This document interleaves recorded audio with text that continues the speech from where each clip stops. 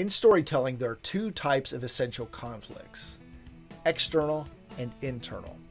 They're both critical to a good story, they're very different though.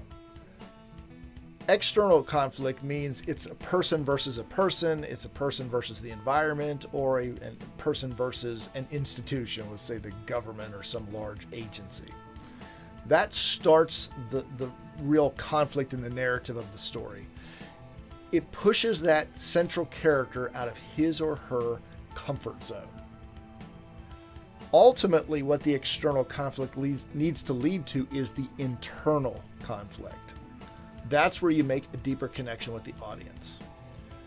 In the next video, I'm going to share a quick insight that I've gained about storytelling. I thought it was so important, I wanted to interrupt this description of the conflict in this series so you understand the importance of story. But after that, we're going to get deeper into the external conflict and the inner so you can know how to effectively use those in your stories.